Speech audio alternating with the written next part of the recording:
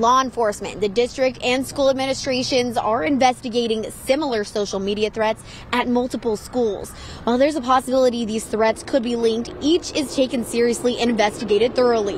Law enforcement and additional district personnel are on site at the schools in keeping with our emergency response plan. People in the community are on edge after a similar threat was made at Bryson Middle School in Simpsonville just on Friday.